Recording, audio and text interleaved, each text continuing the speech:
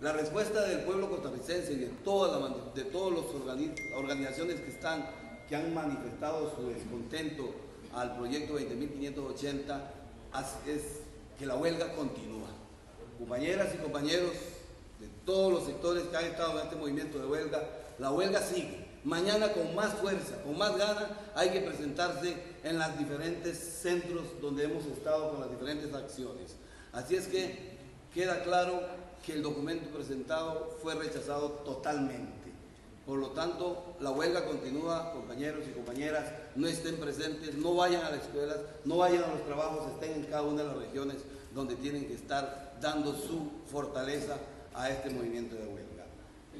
Lamentamos, vinimos a cumplir con el acuerdo de que una vez hechas las consultas, aquí nos veríamos para decir cuál fue el resultado. Como bien ustedes, señores y señoras de la prensa, pueden observar, el gobierno no está, vino y se fue por la puerta de atrás. Se fue por la puerta de atrás y hasta burlándose a ustedes y diciéndoles, no sé dónde los va a atender. Pero la huelga continúa. Compañeras y compañeros que nos escuchan, que nos ven en, en cada una de sus casas, sigamos adelante